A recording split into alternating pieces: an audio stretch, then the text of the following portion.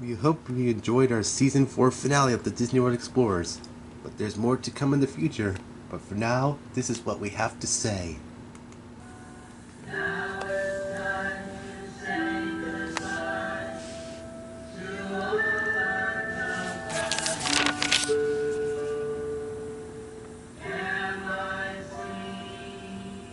See you real soon.